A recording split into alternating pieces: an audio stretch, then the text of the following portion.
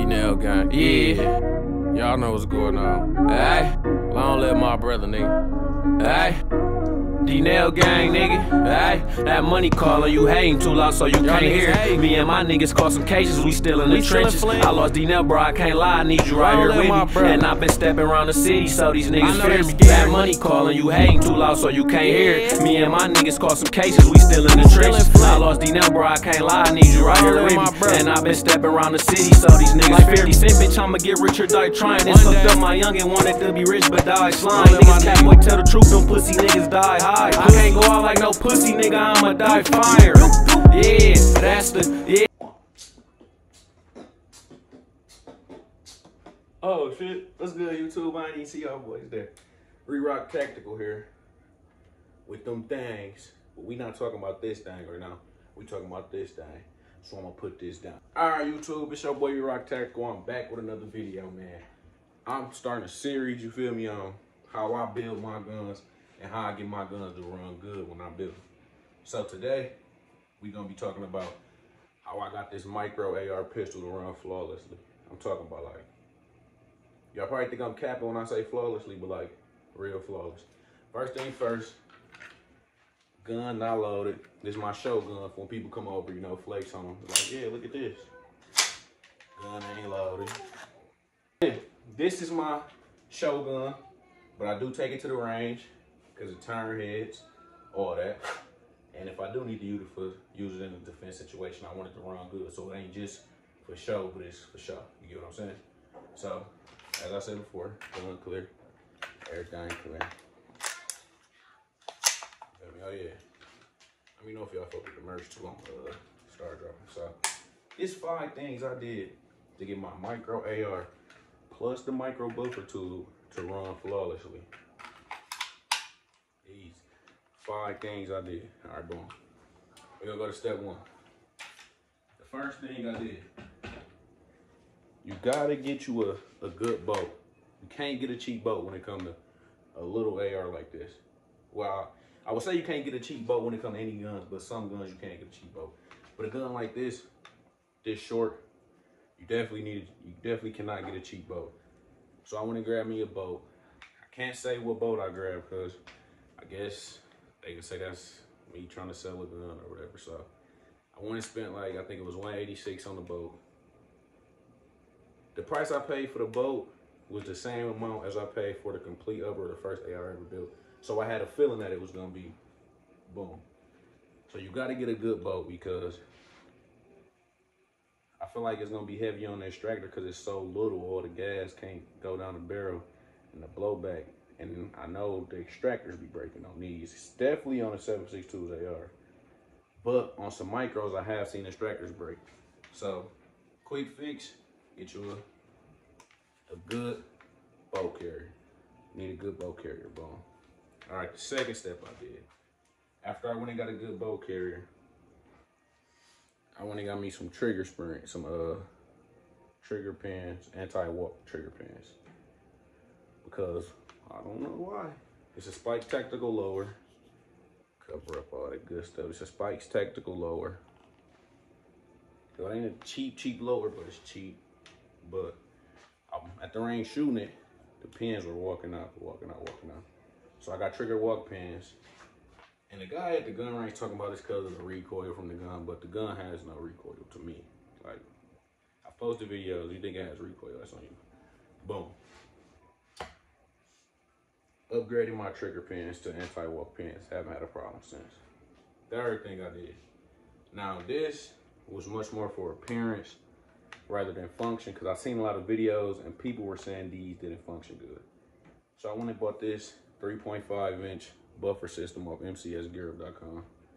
I went and bought this and I done I did a little research. People were saying it's gonna jam, it's not gonna work, yada yada yada, all this and that. So me, I like to figure out stuff for myself.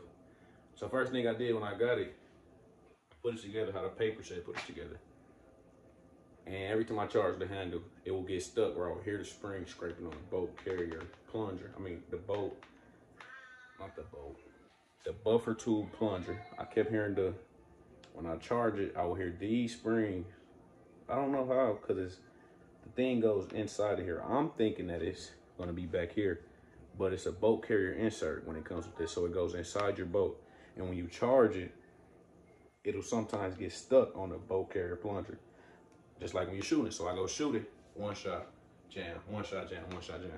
So I say, okay. So I come home. This is how I got mine to work. Take this off, right? Boom. Get everything situated.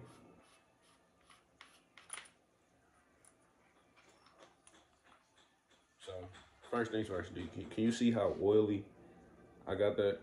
How oily I got all of those. So I'll run this part wet. Oh yeah, don't mind my hands. I just got done washing dishes and this is like a dead skin. This is from building guns. I built about five or six ARs. This is what happens. So yeah, boom. So first thing I did, I came home. I instantly took out that right there, the bolt carrier plunger. Okay. And then I realized I didn't have this on far back enough. Like if you can look in here and see, let me try to adjust it for you. I'm gonna have to take the upper off. You can look in here and see. You see the bolt carrier, you see the bolt plunger right there? That's where the bolt plunger go that stops. That's where the buffer plunger goes. Sorry if I keep saying the bolt plunger. That's where the buffer plunger goes that stops the buffer the buffer spring from going in. So I took that out, right? And then what I realized, these wasn't back far back enough so it have enough room to come all the way back. So what I did was I grabbed my armor's tool, grab my armor's wrench. You get you one of these, you back up. Get you one of these, work flawless. Put it on there, and I took this off. So you take that off, and then you only thread it until right to like the first or second thread right in front of the plunger hole. I, I know you might think it sounds weird, but right there, that's all you need because it's going to allow the the bolt to push the carrier all the way back, all the way back, all the way back, all the way back, all the way back. When you put it on the second, one, two, the second thread before the buffer. Remember that second thread. And that'll also give you room to put this on the right way without needing a skinny, a very skinny armor's wrench. So that's the third thing I did. I bought this, and then I immediately took out the plunger and ran it like that. Next day, I went to the range. I promise you, I bought two boxes of the, the 150 round 556 and I bought two boxes. They were $101 a piece. I shot all 300 rounds. Not one stop, not one failure feed, nothing. It ran flawlessly. Boom. So I said, okay. Then I realized after 300 rounds, this thing gets so dirty because it's only a five inch barrel. I don't know if that's why. I'm just telling you my assumptions. I'm not a, feel me, I don't know too much about these things. I'm learning just like you guys learning, but I'm just telling you what helped mine run perfect. So this right here, this just gets, this is the fourth step now. This just gets so caked up, so dirty, so fast. And like, when I say so caked up, when I say so caked up, so dirty, so fast, this right here has so much just dirt all around it, all in it. So yeah. I cleaned this up. Cleaned this, got some uh, CLP, the spray con. Sprayed it on there, cleaned it, then put a drop of oil, a drop of lube on there. Cleaned it, make sure it was a little boom. Did that to, make sure you do that to the little crush washer too. Now with this, this spring, I don't know why, but this spring, I don't know if it's just my spring, but it likes to stick. I could hear it. That's how you know it's, it's, it's pretty dirty because, like I said, we just left the range, but she's still oily. So it ain't that much dirt as oil. But this would get so dirty. The recoil spring that goes inside the buffer, it would get so dirty, and I would hear it. You could hear the springs like cling, cling, and cling, cling, and cling, cling, but it was still charged. So I'm like, oh, okay. But that's because I ran it bone dry, nothing on it. So I lube this. All right, and I don't know if you can see, but there's also a little spring back there as well. I put lube on that because this goes in. You can probably can't do it by hand, but when the gun goes off, that pushes in. You hear this pressing up against it like tick, tick, tick, tick. So what I did is got my spray, spray twice, two, two, two sprays, and I took my little brush. Took my brush, shoved it in there, the little part, and I just, you know, wash those springs, try to get all the little, everything I could off the spring, everything I could off the spring. And I also wash, well not wash, but like clean those threads in there as well. So you have to clean this, oil this as well, because this is not a boat. Because like I know you can just leave your regular buffer tube spring. I never cleaned that on any of my ARs and they always ran fine. But with this one, I see that you have to clean this. It just throw it in the maintenance of the gun. I don't know if you have to, but since I'm breaking it in, I thought I had to. I'm about 500 shots in on this now. This whole little micro buffer tube thing, I'm about 500 shots in on this. And with the whole gun, I'm about 1,800 shots in. So yeah, she's been running fine.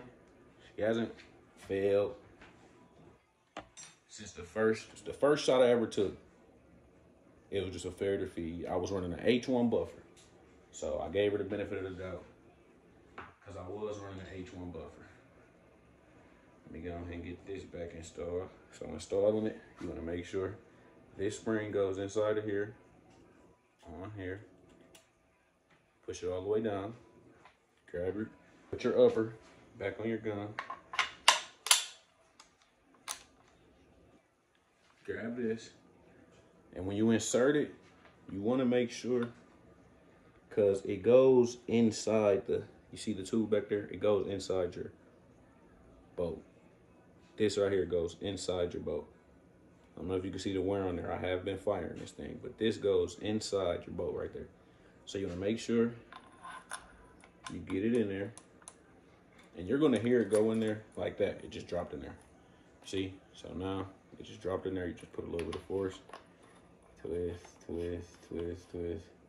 Some people say use Loctite right here, but I just don't think it's a good thing because something fail, you got to get your gun off. I don't know how you get this off with Loctite.